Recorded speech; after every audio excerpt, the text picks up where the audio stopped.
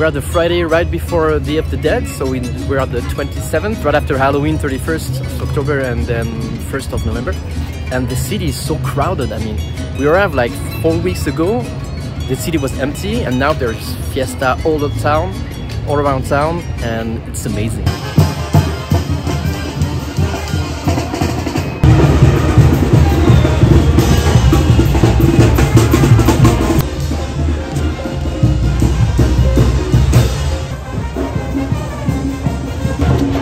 So we're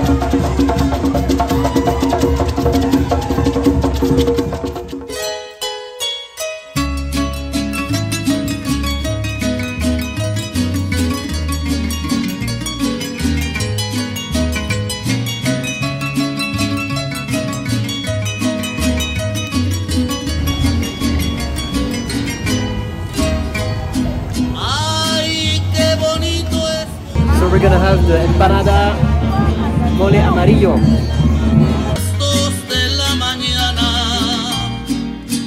This morning we rented some scooters and we drove like 45 minutes to come to those fields. It's the typical flower that they grow for uh, Dia de los Muertos and the ride to go here is actually pretty nice too. And on top of that, it smells so good.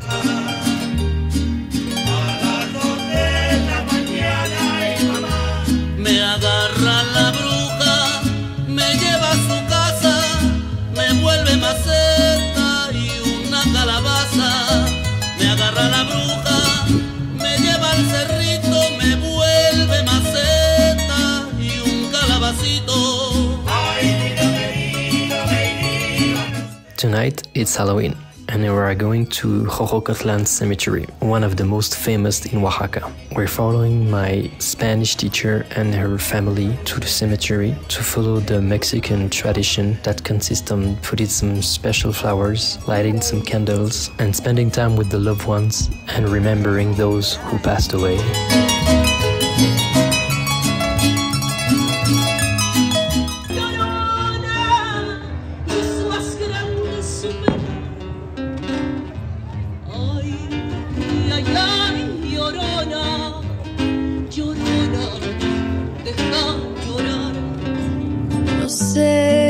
Qué tienen las flores, lloronan las flores de un campo santo. No sé qué tienen las flores, lloronan las flores de un campo santo.